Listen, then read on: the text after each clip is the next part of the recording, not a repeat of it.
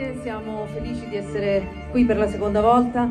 Questo eh, 7 contro Tebe eh, lo abbiamo fatto dopo Antigone, in realtà prima verrebbe 7 contro Tebe perché si parla della guerra e poi di Antigone che parla della scelta eh, di seppellire o meno. Volevo dire che mm, il teatro ha questa potenza, ci parla in questo caso della guerra, una parola che negli ultimi anni ha perso di valore, la sentiamo nominare troppo spesso e sappiamo, vediamo attraverso le immagini la guerra, ci stiamo abituando. Questa parola che significa? La guerra è normale, è, è entrata nella nostra quotidianità. Ebbene, i testi così che vengono da lontano e che usano le parole, la forza delle parole, che stiamo dimenticando stiamo semplificando, stiamo perdendo le parole, ne usiamo di meno e quindi semplifichiamo il pensiero. E invece il pensiero è fatto di tante parole ed è un pensiero complesso.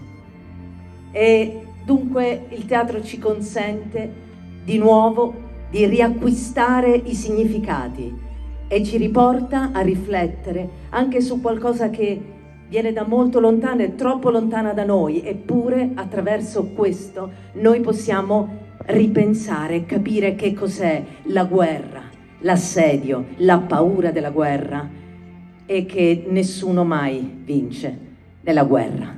Grazie. Sì, è la seconda tragedia che rappresentiamo, fa parte delle due tragedie nel cartellone del teatro classico, dopo verranno gli spettacoli del mito.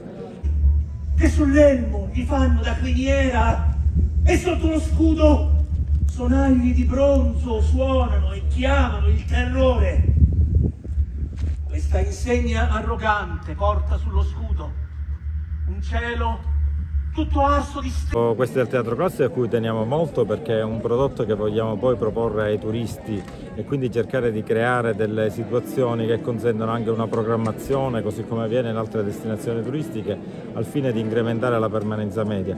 Ma devo dire che nel cartellone generale della stagione abbiamo già degli spettacoli sold out e valutiamo già di fare delle repliche eh, prossimamente.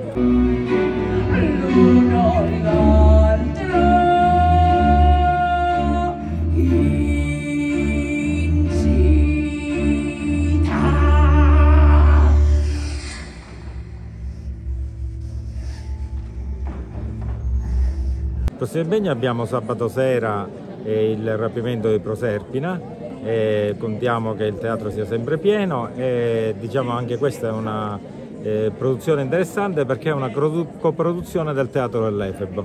Ho perso mia madre due settimane fa e,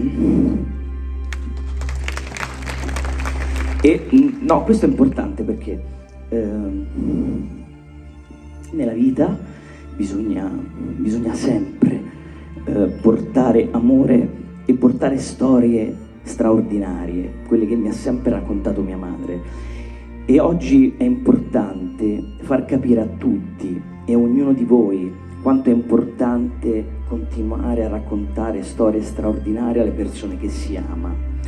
E, e noi lo facciamo per voi e lo facciamo anche per noi, però è essenziale e oggi l'ho capito ancora di più quanto è fondamentale amare e portare l'amore sempre, scusate, ci tengo a dirlo perché d'ora in avanti credo che la mia vita cambierà e, e la mia carriera cambierà, però è essenziale continuare a raccontare storie belle perché c'è bisogno di felicità, c'è bisogno di portare la gioia nel mondo e questo è fondamentale. Grazie, grazie a tutti.